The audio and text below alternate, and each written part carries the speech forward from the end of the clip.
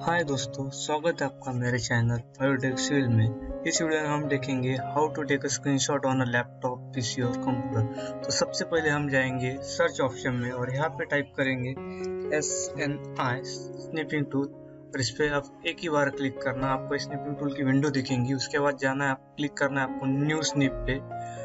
सो आपको सिर्फ़ जितना एरिया चाहिए, उस एरिया पे सिर्फ़ ड्रैग करना है तो आपको देंगे जितना स्क्रीनशॉट चाहिए, वैसे स्क्रीनशॉट लेने का विंडो ठीक? उसके बाद आपको ऐसी एक विंडो ओपन होंगी।